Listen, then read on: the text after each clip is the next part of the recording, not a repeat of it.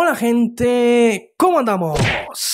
Bienvenidos a otra nueva video review donde estaremos analizando la figura de Wheeljack de la línea de Transformers War for Cybertron Kingdom. Antes de empezar quiero mandar saludos a los usuarios Rey Miamander, El Maíz y Volvito. Si tú también quieres un saludo, simplemente debes adivinar la temática o el personaje del próximo video. Para saber esto, debes estar al tanto tanto de la pestaña de comunidad como de mis redes sociales. Así que vayan a seguirme por ahí también. Abajo les dejo los links como siempre. Vamos a proceder con el unboxing de la figura y podemos empezar revisando la caja y notando que las cajas de Kingdom son increíblemente hermosas. Cuentan con dos artes hermosos, tanto el modo vehículo como el modo robot, en un costado y al frente de la caja. Y podemos notar que la caja en sí es bastante bonita. Me gusta mucho el diseño de fósil o de tierra, así como rural, eh, de afueras, de desierto o de zonas de jungla. Me encanta bastante el diseño de las cajas de Kingdom, la verdad. Ahora sí empecemos con la figura de Wheeljack.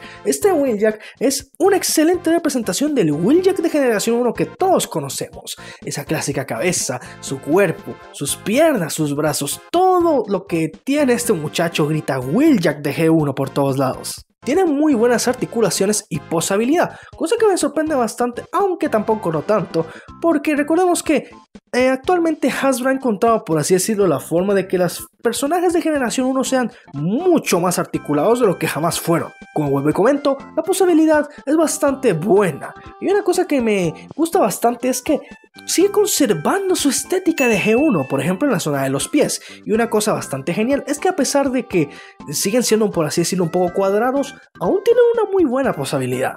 Este Jack nos viene con un accesorio, uno bastante pequeñito la verdad, una especie de pistola, cosa la cual comprendo, ya que estamos hablando de Will Jack, el científico del equipo, no es un soldado como tal, es más, creo que su accesorio, más que una pistola, pasaría por una especie de soldador. En acabados de pintura está muy bien llevado este muchacho, sobre todo en su modo alterno, del cual ya hablaremos más adelante. Y, para finalizar, hagamos una comparativa de tamaños. Aquí lo vemos junto con Will Jack de Transformers Prime. Prepárate para una sorpresa. Tú no eres tú. Eres yo. No me digas. Junto con un Optimus Prime de Combiner Wars y con la última adquisición Soundwave de Transformers Legacy. Ahora bien, dicho esto, pasemos a la transformación.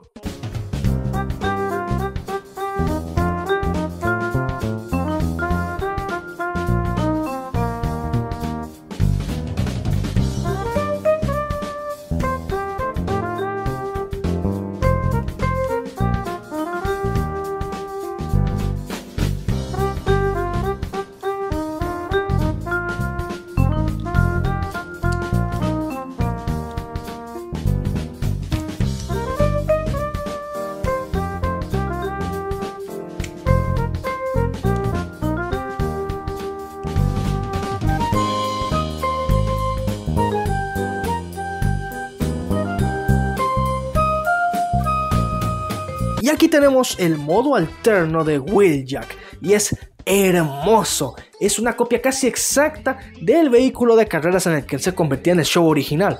Una cosa que me encanta es el increíble detalle de pintura que tiene este muchacho. Al ser un auto de carreras, cuenta con varios promotores, iconos, logos, impresos por diferentes lados del vehículo. Y estos están muy bien pintados al grado de que si pusieras una lupa podrías leerlos muy bien y es un modo alterno excelente. Sin dudas, este es un gran auto de carreras. En cuanto a conclusiones finales, ¿recomiendo la figura?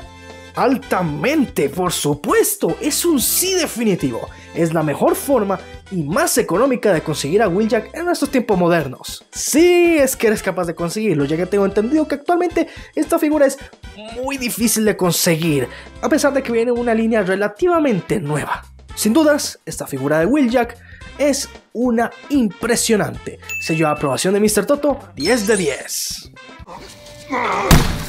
¿Dónde están? Matar es una elección.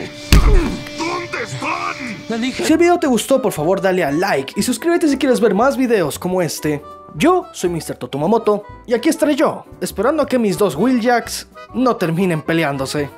¿Qué eres, mi doble guapo? Estaba a punto de preguntarte lo mismo. Está bien, veamos quién es quién.